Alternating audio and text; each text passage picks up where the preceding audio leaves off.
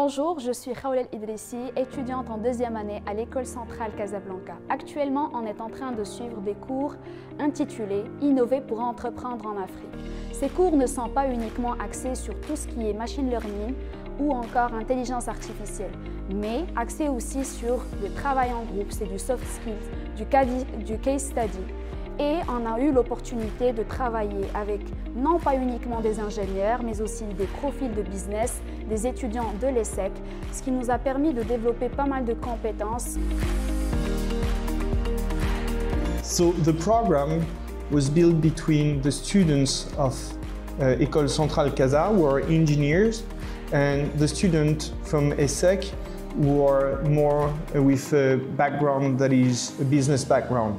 And the purpose of the program was to enable those students to get a taste of what it is to work with people from a different background, which is often necessary when you work in particular on a startup project. We also wanted those students uh, to really go through the complete process of building a company um, and providing them with the tools to do so.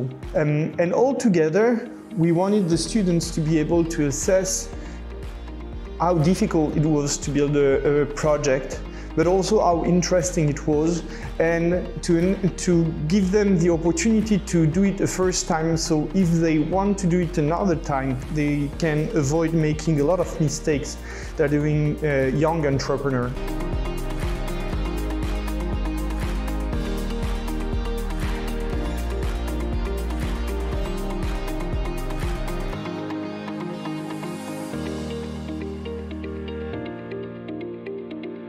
Écoutez, on a assisté à une, soutenance euh, avec des groupes extrêmement euh, divers dans leurs euh, projets, dans, leurs intentions de, mise sur le marché de, propositions autour de l'intelligence artificielle et, de l'aide à la décision.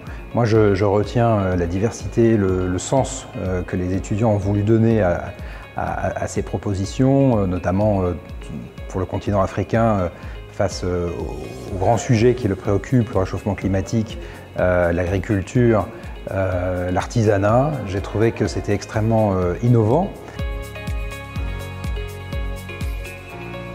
Euh, ce qui m'intéresse le plus dans cette coopération entre les SEC et Centrale, c'est la mixité des, regards, la mixité des profils entre des approches d'ingénierie, des approches plus business, des origines culturelles des uns et des autres qui permettent d'avoir une complémentarité de points de vue et c'est ça qui fait la force de, de l'exercice auquel on a assisté euh, ce soir.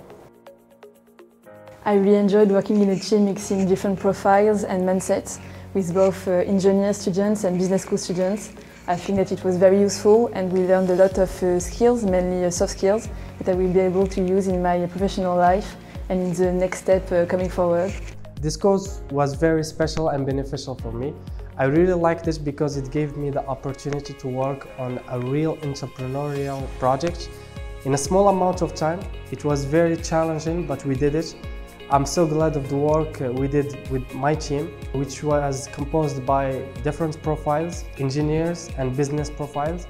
It was a great experience to be remembered. These days we're having a course uh, in the title of innovation for entrepreneurship in Africa. Uh, we have seen many interesting, interesting topics in this course, uh, not only related to what is machine learning and how to apply it in entrepreneurship, but also how to create a really successful startup, how to work in, in a team, how to use uh, empathy maps, emotional intelligence, how to really cooperate in order to be successful in the startup. And of course, we have uh, had a lot of uh, uh, great uh, technical lessons in, in order to understand how machine learning and AI work.